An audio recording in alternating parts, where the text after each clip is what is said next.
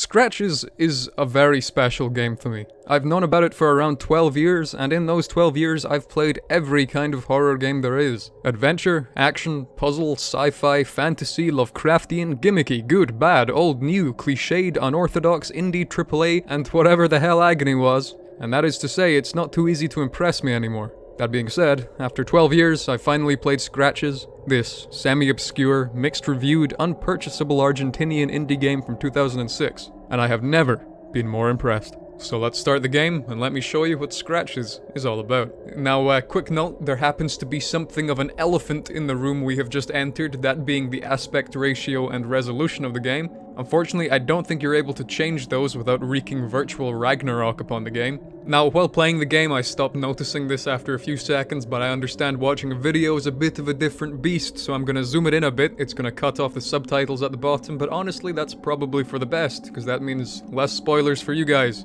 And with that out of the way, let's get into it. So the game opens with us being shown a fair amount of film grain and some pictures while the opening credits roll, and the highlight of this section is finding out that the music was developed by a Cellar of Rats. And what talented rats they are, because this game's music is super not pleasant. And I mean that in the best possible way. It's creepy as shit. A perfect example of this is the pause menu music. Now, in most horror games, the pause menu would have some understated and slightly creepy music, or maybe just complete silence. But in Scratches, we get this. Ah, let's take a break from this scary horror game.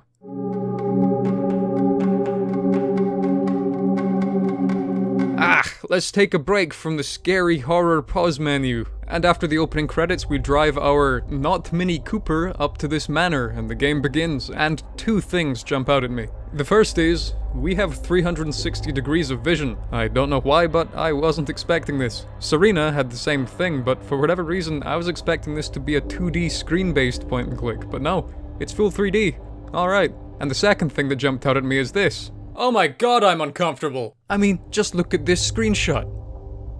But wait, that's no screenshot Painticus, that's live gameplay. Look at how goddamn still the world is. There are no leaves rustling, no birds chirping, no distant traffic, the world feels dead. And listen, that's no complaint, that's a huge plus. For most other games, having a dead world is bad because it makes your game feel characterless and flat. But in horror, it provides an unrivaled sense of dread.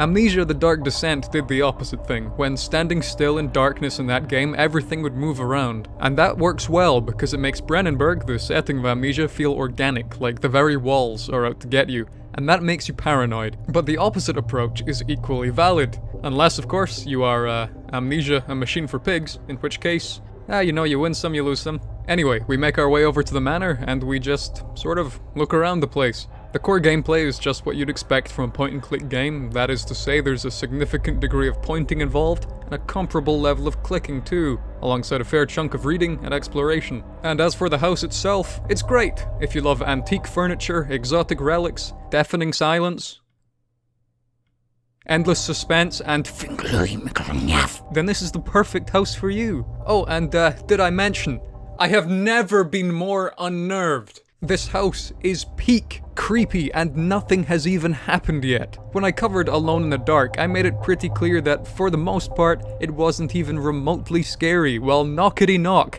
Alone in the Dark has been working out for 13 years, eating nothing but steroid-infused human flesh because Scratches is everything Alone in the Dark wanted to be, with all of the weird shit removed. Like in Alone in the Dark, you'd open up a door and find a ghost pirate cultist swinging at you with his sword, and your reaction would be, oh, okay, I'll just take out my bow and deal with this the sensible way. But in Scratches, you open a door which by itself has this creepy Resident Evil style animation to find an empty bathroom, and my reaction was, ah, I, I don't wanna.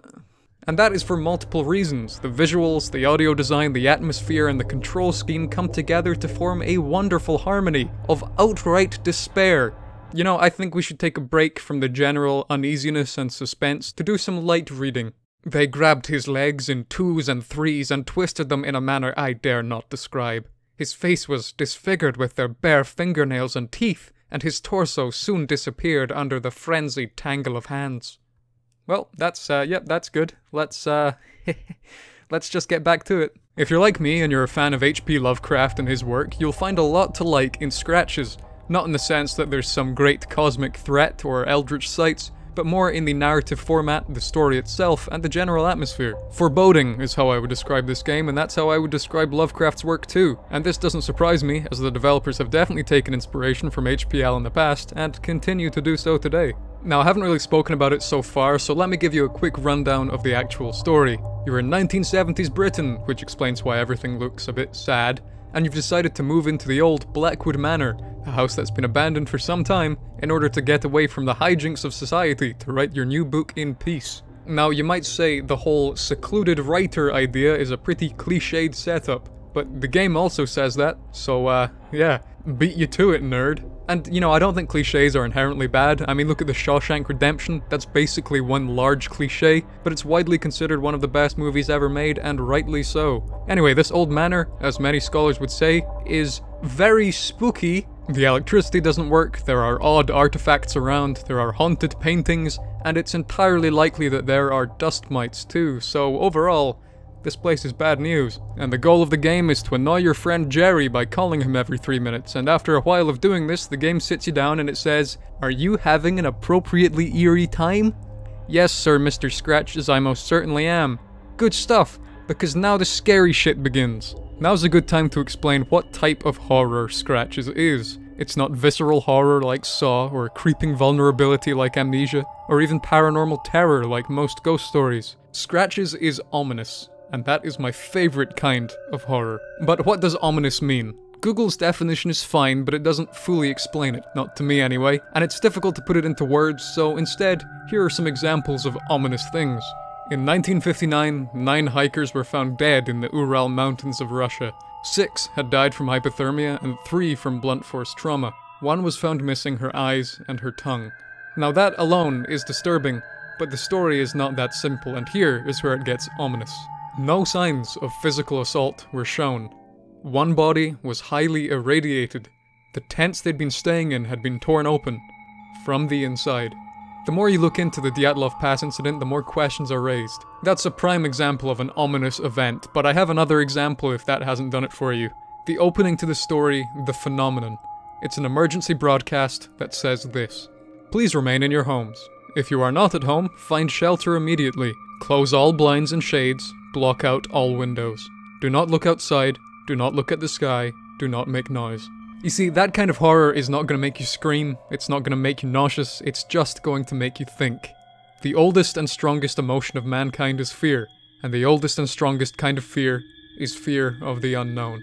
And that's a quote I wholeheartedly relate to. But I know some people disagree. If you expect screamers or violence or action in your horror, you won't be impressed by scratches. But if the sound of clawing from behind long abandoned bricks unnerves you, if the discovery of a hidden, unmarked, and barricaded door lights that insatiable spark of terrified curiosity, and if the absolute and inexplicable stillness of nature chills you, then Scratches is the perfect experience. Anyway, we get woken up by some unexplained noise, a sort of scoring or maybe marking of the walls with a sharp or pointed object. There must be a word for that. And the true scratches starts here. The music, lighting, general ambience, atmosphere, and everything else really steps it up a notch and makes the game's intro feel casual by comparison. And even though I evidently enjoy horror games, I admit I have the mental constitution of someone five times my junior.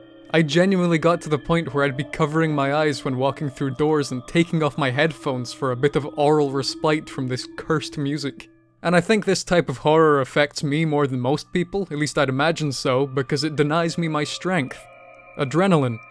To many people, in Amnesia the Dark Descent, the water monster chase is among the scariest encounters they've ever had. But for me, my fight or flight response kicks in and I basically autopilot my way through it. But you can't do that in Scratches. You can't run, you can't hide, you cannot sneak past your problems. You can only slowly approach them, one click at a time.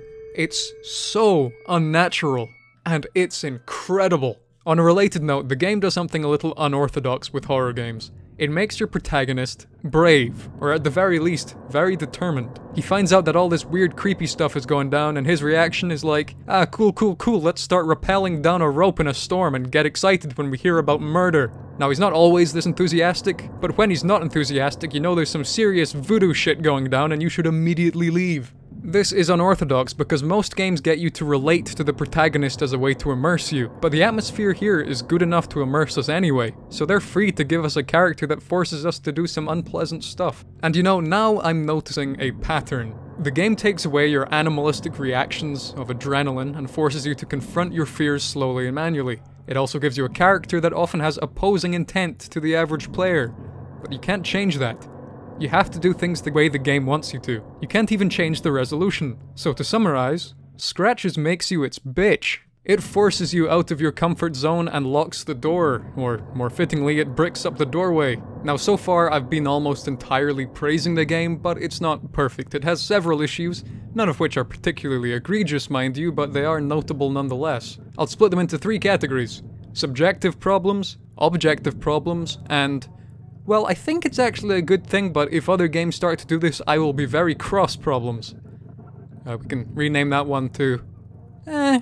So starting with the subjective problems, this is an adventure game, but more specifically, you could call it a hidden object game, which can be very frustrating if you're not big into the genre, and if you're not, I recommend using a text-based walkthrough. That way you still get all of the horror out of the game without any of the frustration. As for the objective problems, the voice acting. It's fine for the most part, but the main character's voice does go from American to English at the drop of a hat. And I'm not entirely sure why that happens. There's also some minor visual glitches here and there, like the door to the attic opening the wrong way, the sky being oddly black on the first day, that kind of stuff I can look past. It's very minor and it doesn't really affect the experience. But there is one very strange issue, and that's with the director's cut of the game. So that added an alternate ending and an extra epilogue chapter, and you know, that's cool stuff. But weirdly, the two are not compatible with one another. If you get the alternate ending and then play the epilogue, you will have no idea what's going on. It's only compatible with the original ending. I...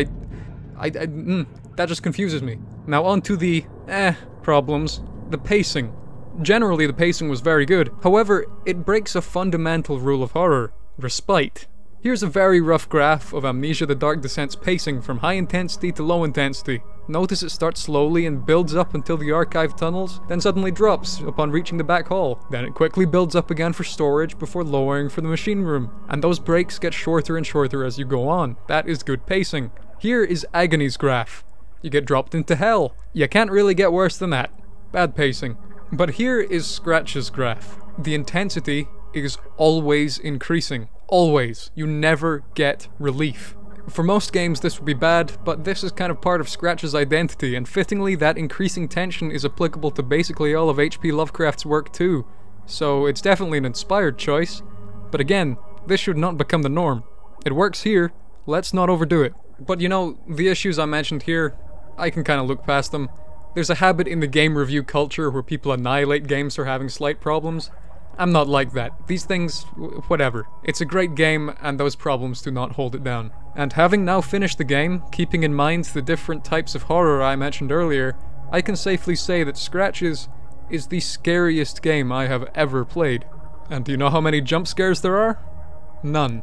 Well, I mean, some people would argue that there are jump scares, but they are remarkably tame in comparison to most, and I say that as someone who is very sensitive to jump scares. Nothing about this game's horror is cheap. It earns every scare it gives you. Now, I mentioned in my last video that Scratches was a kind of icon of horror for me.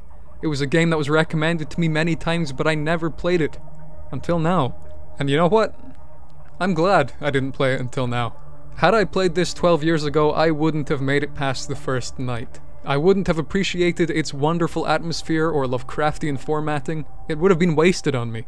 There's something oddly poetic about it being removed from storefronts. It's now some hidden relic of what horror can be. The game makes several references to books like the Necronomicon, De Vermis Mysteriis, De, De, Ver, De Vermi Mysterii, the mysterious vermin, and so on. And in an odd twist of fate, Scratches has become a video game equivalent to one of these.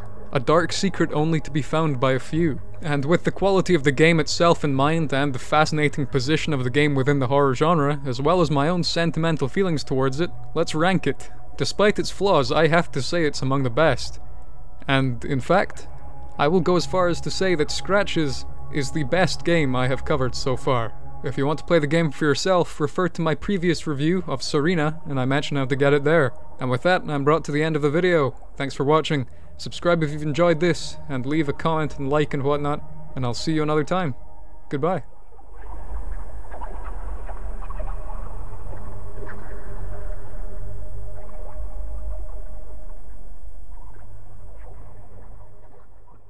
You know, the thing that I can't get over is that this game, by all reasonable assumptions, should have disappointed me, but it didn't. 12 years of build up and it lived up to it. And believe me, I went into this thinking I'd be underwhelmed. There's only one game with more build up for me, and it's TimeSplitters 4, which, by the way, is looking less unlikely than ever, unless they give Dambuster another wholly unremarkable IP to work with first. oh, they have. Son of a bitch.